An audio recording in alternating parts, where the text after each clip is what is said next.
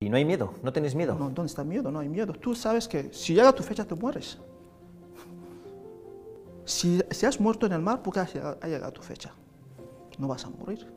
Ese pensamiento tan determinante, imagino que lo que te hace es ser más valiente, ¿no? Sí, sí, es- o sea, todos los que están ahí, los 34 que hemos cogido, los dos pateras 17, todos tienen el mismo pensamiento. Todos. Todos saben que todo, no, no hay nadie que piensa que va a morir.